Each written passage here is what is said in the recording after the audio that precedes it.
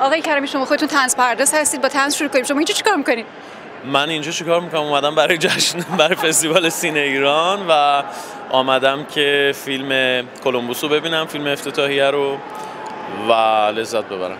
آخه اسم شما نبود بین هنرمندان و یعنی حضور شما اینجا اتفاقی بوده در کانادا حضور نه نمی‌دونم شاید اسم نمی‌دونم چی بوده قصه ولی به حال دیشب که در واقع مراسم افتتاحیه بود من افتخار اجراشو داشتم و امشبم که در خدمت دوستانم هستم.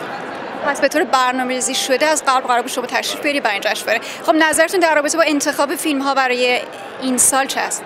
به نظرم فوق العاده انتخاب های درستیه. همه مدل فیلمی داریم از همه ژانرها تقریبا می‌تونم بگم فیلم داریم. کسایی که دعوت شدن آدمای درجه یک و کاربلدی هستن و به اندازه کافی وسواس و حساسیت و سلیقه به خرج داده شده و از این بابت خیلی به نظرم باید خوشحال باشیم که کیلومترها دور از سرزمینمون. همچنان فیلم های روز ایران داره در قالب یک جشنواره در کانادا به نمایش در میاد. از این بابت خیلی خوشحالم. خیلی متشکرم. ما باز هم در خدمت شما خواهیم بود. خواهش می‌کنم. متشکرم. خیلی ممنون.